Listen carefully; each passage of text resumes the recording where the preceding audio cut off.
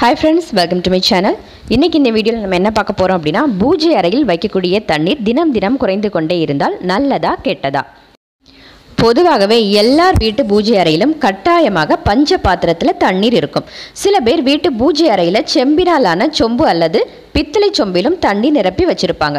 இந்த தண்ணீர் எதற்காக பூஜை அறையில் வைக்கப்படுறதுன்னு பார்த்தா ஆன்மீக ரீதியாக பார்த்தா தெய்வங்களுக்கு அருந்துவதற்காக. இந்த தண்ணீரை நம் வீட்டு பூஜை அறையில் நாம் வைக்கிறோம். அந்த பாத்திரத்தில் வைக்கக்கூடிய தண்ணீர் குறைஞ்சா வீட்டிற்கு நன்மையா தீமையா? பொதுவாகவே தண்ணீரை எந்த இடத்தில் திறந்து வைத்தாலும் அது இயற்கையாக ஆவியாகத்தான் செய்யும்.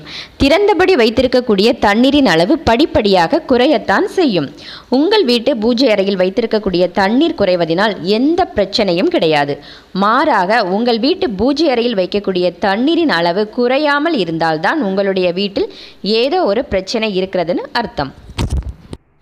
பொதுவாகவே வெயில் காலம் எனும் பட்சத்தில் வீட்டில் நாம் திறந்து வைக்கக்கூடிய தண்ணீரின் அளவு வேகமாக குறையும். அதுவே குளிர்காலமும் மழைக்காலமுமாக இருந்தால் தண்ணீரின் அளவு குறைய கொஞ்சம் நேரம் எடுக்கும். ஆன்மீக ரீதியாக நம்ம எல்லார் வீட்டு பூஜை அறையிலும் தண்ணீர் வைப்பதற்கு காரணம் இறைவன் அந்த தண்ணீரை பருக வேண்டும் அப்படிங்கிறதுக்காகத்தான். ஆவியாதல் என்ற செயல்பாடும் இறைவனால் நடத்தப்படும் ஒரு விஷயமே. ஆகவே உங்க வீட்டு பூஜை அறையில் வைக்கும் தண்ணீரை இறைவன் பருகுகின்றாரா அல்லது ஆவியாகத்தான் தண்ணீர் குறைந்ததா? என்ற சந்தேகமெல்லாம் உங்களுக்கு வர தேவையில்லை. ஆன்மீக ரீதியான நம்முடைய நம்பிக்கையை ஒருபோதும் நாம் மாற்றிக்கொள்ளக்கூடாது. உங்க வீட்டு பூஜை அறையில் தண்ணீர் குறைந்தால் அதை உங்கள் வீட்டு தெய்வம் பருகி விட்டதாகவே மனப்பூர்வமாக நம்புங்கள். அந்த நம்பிக்கை உங்களுடைய வீட்டில் நேர்மறை ஆற்றலை உருவாக்கி அந்த இறைவன் உங்கள் வீட்டு பூஜை அறையில் கொண்டு வந்து அமர்த்திவிடும். நம்பிக்கையின் மூலமாகத்தான் நம்மால் கடவுளை உணர முடியுமே தவிர வேறு எந்த வகையிலும் கடவுள் நம் கண்ணுக்கு தெரிய மாட்டார். இதே போலவே உங்கள் வீட்டு பூஜை அறையில் வைக்கக்கூடிய தண்ணீரில் ஒரு ஏலக்காய் ஒரு துண்டு பச்சை கற்பூரம் சிறிது வெட்டிவேர்.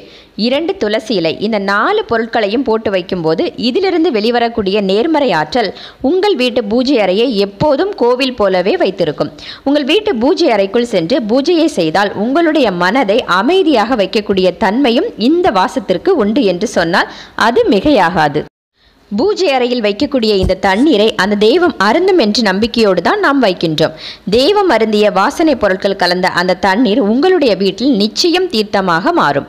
இறைவனுக்கு பூஜை செய்து முடித்துவிட்டு பஞ்ச பாத்திரத்தில் இருக்கும் தண்ணீரிலிருந்து நீங்களும் இரண்டு சொட்டு தாராளமாக தீர்த்தம் போலவே அருந்தலாம்.